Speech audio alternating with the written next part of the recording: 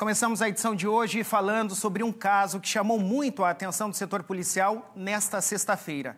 Trabalhadores da empresa que faz o transporte de cargas por trem aqui em Paranaguá se depararam hoje cedo com uma cena inusitada. Um homem morto em meio ao trilho e a um vagão. Ele estava sem a cabeça e sem os dois braços.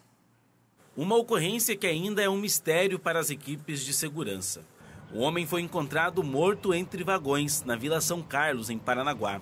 A PM foi acionada no local por funcionários da empresa Rumo e, segundo testemunhas, os funcionários estariam realizando manobra dos vagões no local, quando encontraram o corpo sem cabeça e sem braços, pendurado entre os vagões.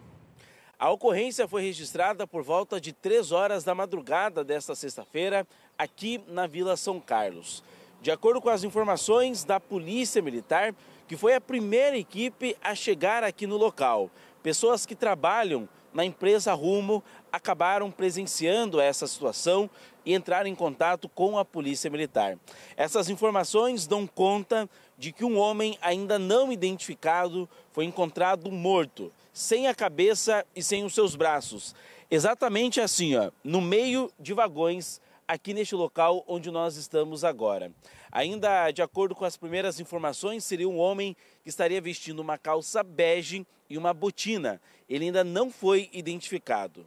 Durante a manhã dessa sexta-feira, aqui neste local e ainda bem próximo, onde a situação foi registrada, as equipes da criminalística e do Instituto Médico Legal vieram novamente até este local, já claro, já com o raiar do dia, para tentar localizar as partes do corpo deste homem, que foi encontrado exatamente aqui, sem os braços e também sem a cabeça. Ainda de acordo com a Polícia Militar, não foi possível levantar mais nenhuma informação, além das características das vestimentas da vítima. A criminalística e o Instituto Médico Legal foram acionados no local durante a madrugada. A Polícia Civil agora investiga este caso e passa também a contar com mais informações da criminalística, que fez uma primeira perícia aqui neste local que vai apontar as causas desta morte. Seria um homicídio? Seria um acidente? Isso apenas após as investigações das equipes da Polícia Civil. Na manhã de hoje, horas após o acionamento das equipes de segurança, os agentes da criminalística conseguiram localizar partes do corpo da vítima, metros à frente de onde houve o acionamento inicial.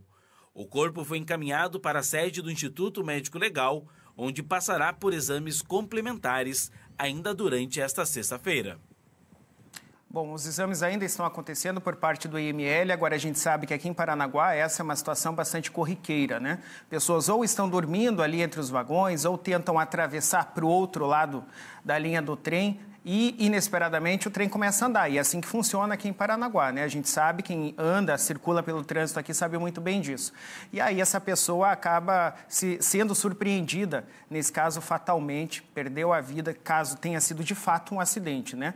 Por enquanto são informações preliminares aí da investigação. Mas infelizmente mais uma tragédia aqui na nossa cidade.